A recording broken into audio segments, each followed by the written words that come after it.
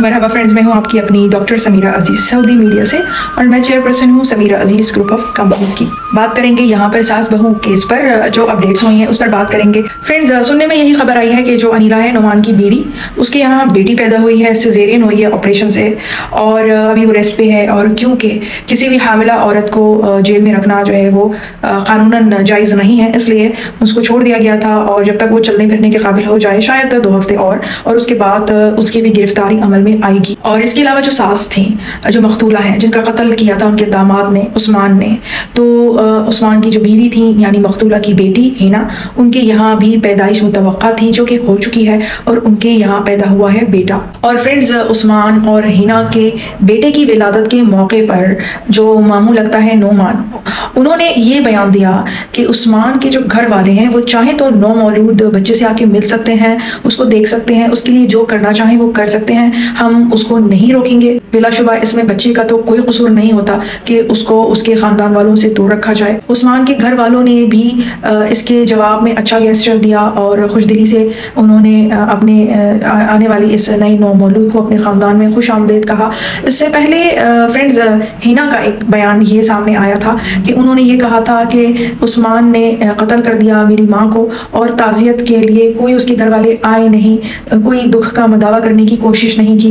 और उसके बाद लगता है कि एहसास हुआ था उस्मान के घर वालों को तो उस्मान के वालिद जो हैं वो उस्मान से जेल में मिलने गए थे और उसके बाद वो आए नुमान के पास। तो नुमान का बयान ये आया था कि उस्मान के वालिद साहब बहुत रोते रहे और उन्होंने ये कहा कि मेरे बेटे ने यानी कि उस्मान ने एक बहुत नाकाबिल तलाफ़ी जुर्म कर दिया है और उन्हें उस पर पछतावा था। इसके अलावा अनिला की तरफ़ से क्लियरली इस बात को अनाउंस नहीं किया जा रहा कि उसके यहाँ बेटी की पैदाइश हो चुकी है, क्योंकि ज़ाहिर है उन्हें गिरफ्तारी का डर होगा तो वो नहीं बता रहे हैं, लेकिन ख़बरें जो हैं वो सामने आ गई हैं। और ये बात तो ऑब्वियसली ज़्यादा दिन तक ढकी छुपी नहीं रह सकती।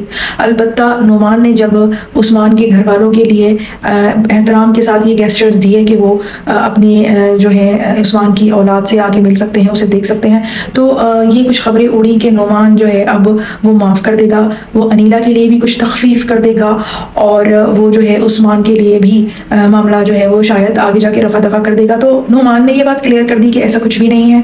जिसका ज़रा भी हाथ है, मेरी माँ के कत्ल में हम उसे कतई माफ़ नहीं करेंगे। अनिला के लिए ख़ानदान के एक बुज़ुर्ग ने बीच में पढ़कर ये ज़रूर कहा था नुमान से कि इस अनिला की सबसे बड़ी सज़ा यही है कि आप इसको तलाक दे दें और इसने बड़े इल्ज़ाम के बाद जब इसकी तलाक होगी तो ये इसकी ज़िंदगी वहीं पर खुद ही ख़त्म हो जाएगी, इसको, इसकी सज़ा मिल जाएगी। लेकिन नुमान ने उस बात पर भी बिल्कुल मना कर दिया और नुमान ने कहा कि मैं इन सब लोगों को आज़ाद नहीं देखना चाहता, मैं इन सबको इनके कैफर किरदार तक पहुँचते हुए देखना चाहता हूँ। मैं इनको आज़ाद घूमते हुए नहीं देख सकता। मैं इनको कतई माफ़ नहीं करूँगा। और ये सवाल बार बार नुमान से किया जाता रहा है कि क्या आप अनिला के बच्चे को कबूल करेंगे? अपना बच्चा आप उसे तस्लीम करते हैं। तो उस पर नुमान ने ये बात क्लियर की कि मैंने आज तक ये नहीं कहा कि वो बच्चा मेरा नहीं है। मैं इस बारे में नहीं बात कर सकता। सबसे पहले तो मैं अनिला को गिरफ़्तार करवाऊँ ताकि उसकी तफ्तीश हो।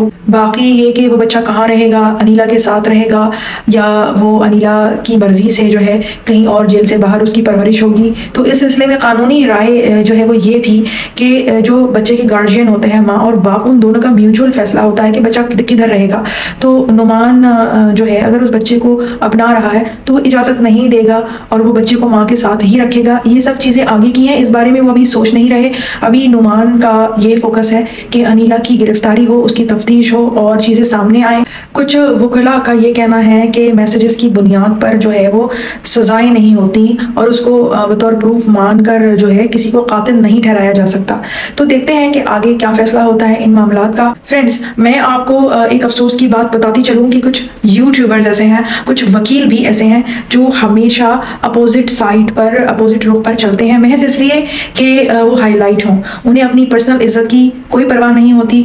वो हमेशा गलत लोगों का साथ देते हैं। मुझे नहीं पता कि वो ऐसा क्यों करते हैं, चाहे वो दुआ जहरा केस हो, या इसके अलावा भी हमेशा देखा है कि वो गलत इंसान का साथ देते हुए नज़र आते हैं, गलत बात करते हुए नज़र आते हैं। तो ये वकील कुछ वसवसे पैदा करने वाले वाली बातें कर रहे हैं और नुमान के जो हौसले हैं, उनको पसपा करने की भी कोशिशें कर रहे हैं। और फ्रेंड्स मज़े की बात यह है कि जब ये वकील साहब हैं, बात करते हैं तो नज़र आता है कि इन्होंने सही से पूरी वीडियोस देखी नहीं, इनको पूरे मामला और वाक़ात का भी सही से पता नहीं है, बस जो इक्का दुक्का वीडियोस इनके सामने आ गई, बस उन्हें उतनी सी ही नॉलेज है और उस पर वो अपनी राय देने के लिए यूट्यूब चैनल पर आके बैठ जाते हैं, ताकि ऑडियंस उनको देखे, उनकी बात सुने।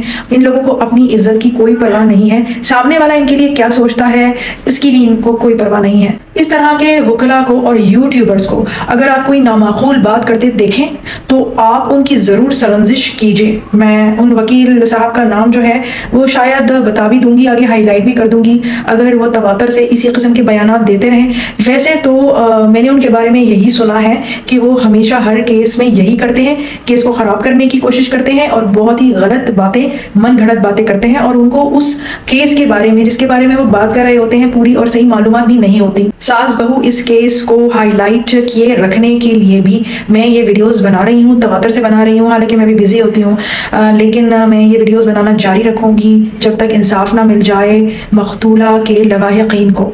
मैं फिर आऊँगी, फिर मिलूँगी इस वीडियो के तसलसल के साथ और दूसरी अच्छी इंफॉर्मेटिव वीडियोज़ के साथ भी। चिल देन मासलामा बाय बाय